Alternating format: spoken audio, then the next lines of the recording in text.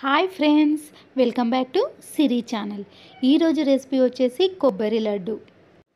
ఈ లడ్డు చాలా జ్యూసీ జ్యూసీగా నోట్లో వేసే కరిగిపోతుందండి అంత టేస్టీగా ఉంటుంది. ఇక ప్రాసెస్లోకి వెళ్ళిపోదాం. ముందుగా ఒక గ్లాస్ తీసుకోండి దానిలో బియ్యాన్ని తీసుకొని ఒక గంట వరకు నానబెట్టుకోవాలండి. ఖచ్చితంగా గంట నానితేనే మనకి ఈ లడ్డు అనేది చాలా టేస్టీగా వస్తుంది. ఏ కొలతతో తీసుకుంటున్నామో అన్ని ఇంగ్రీడియంట్స్ కూడా ఈ కొలత ప్రకారమే మనము తీసుకోవాలి. ఈ కొలతల ప్రకారం చేయడం వల్లనే మనకి లడ్డు అనేది చాలా జ్యూసీ జ్యూసీగా చాలా సాఫ్ట్గా వస్తుంది. ముందుగా ఒక మిక్సీ జార్ తీసుకొని బియ్యాన్ని ఏ గ్లాస్తో అయితే తీసుకున్నామో అదే గ్లాసుతో పచ్చి కొబ్బరిని చిన్న చిన్న ముక్కలుగా కోసుకొని మిక్సీలో మెత్తగా గ్రైండ్ చేసుకోవాలి. దీనిలో వాటర్ వేసుకోకుండా ఓన్లీ కొబ్బరినే మెత్తగా పేస్టులా చేసుకోవాలి. ఈ విధంగా వీడియోలో చూపించిన మాదిరిగా మెత్తగా ఉంటే సరిపోతుంది. ఈ మిక్సీ జార్లో ఉన్న కొబ్బరి పేస్టును ఒక గిన్నెలోకి వేసేసుకోవాలి. ఈ విధంగా వేసుకున్నాక ముందుగా బియ్యాన్ని నానబెట్టుకున్నాం కదండి ఆ బియ్యంలోని వాటర్నంతా తీసేసి దీనిని కూడా మెత్తని పేస్టులా గ్రైండ్ చేసుకోవాలి. ఈ విధంగా గ్రైండ్ చేసుకున్న బియ్యాన్ని కూడా ముందుగా కొబ్బరి వేసుకున్న గిన్నెలోకే దీనిని కూడా వేసేసుకోవాలి. ఈ విధంగా వేసుకున్నాక అదే గ్లాసుతో బెల్లాన్ని కూడా తీసుకోవాలి. అయితే బెల్లం క్వాంటిటీ నేను కొద్దిగా తగ్గించానండి. మీకు ఎక్కువగా తీపి కావాలంటే మీరు గ్లాస్ నిండా కూడా వేసుకోవచ్చు. మీరు బెల్లాన్ని అలాగే కాకుండా కొంచెం దంచి మెత్తగా చేసుకొని అందులో వేసేసుకోవాలి.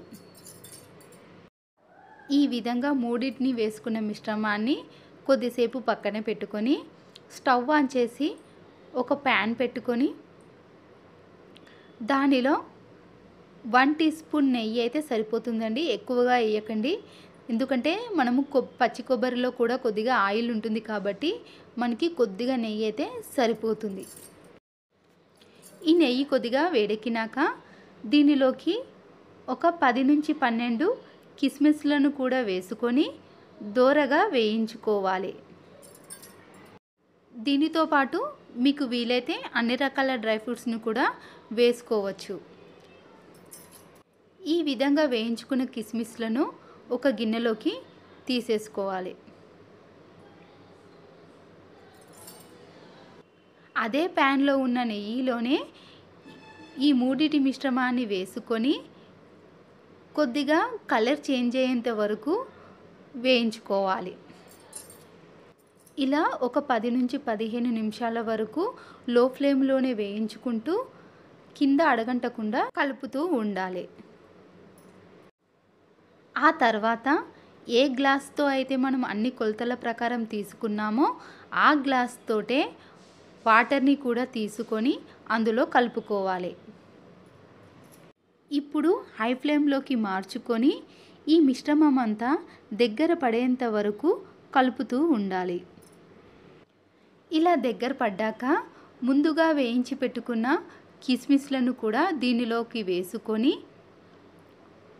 ఒక రెండు నిమిషాల పాటు వీటిని కలుపుకోవాలి. అలాగే దంచి పెట్టుకున్న నాలుగైదు ఇలాచీలను కూడా ఇందులో వేసుకొని బాగా కలుపుకోవాలి. ఆ తర్వాత స్టవ్ ఆఫ్ చేసుకొని దీనిపై కొద్దిగా నెయ్యి రాసుకోవడం వలన మనకు లడ్డూలు అనేటివి ఈజీగా వచ్చేసాయి. ఈ మిశ్రమం కొద్దిగా గోరెచ్చగా ఉన్నప్పుడే వీటిని లడ్డూలలాగా చుట్టుకోవాలి. చేతులకు నెయ్యి రాసుకోకుండానే ఈజీగా మనకి ఎంతో రుచికరమైన జ్యూసీ జ్యూసీ కొబ్బరి లడ్డూలు తయారైపోయినాయి. ఇవి నోట్లో వేస్తేనే కరిగిపోతాయండి అంత టేస్టీగా ఉంటాయి. మీరు ఖచ్చితంగా ఇంట్లో ట్రై చేసి నాకు కామెంట్లో కామెంట్ పెట్టండి. Thanks for watching. Please subscribe Siri channel and support మీ. ఇలాంటి మరెన్నో రెసిపీల కోసం మళ్ళీ కలుద్దాం.